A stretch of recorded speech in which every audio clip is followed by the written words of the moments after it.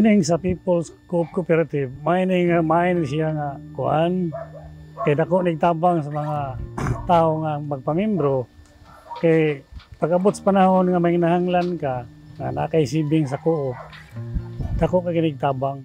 Ah, ako si Telma Galariana, nagpuyo dere sa Sambag San Vicente Liloan. Ang usa nga rason nga na nagpamimbro ko sa People's Co-op tungod manggod sa natay seguridad sa atong kinabuhi. Labi na natay kaugmaon simbako. Simbako lang usay mahitabo. Natay damayan or ang ako sad nga natay mas savings sa kada tuig. ang lawas ba ron na sila mga problema? Dako man matabang yun sa pamilya.